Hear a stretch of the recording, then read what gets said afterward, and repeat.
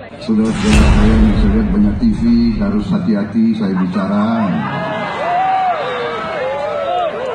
Itu televisi-televisi itu, ya di situ dia tentang apa dia mau rekam saya nggak tahu itu.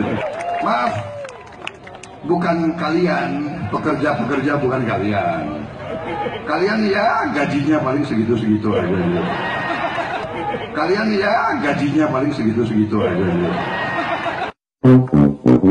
Astaga, Prabowo ejek wartawan. Gaji kalian juga kecil kan? Juga kalian tak nggak bisa belanja di mall. Juga kalian tak nggak bisa belanja di mall. Juga kalian tak nggak bisa belanja di mall.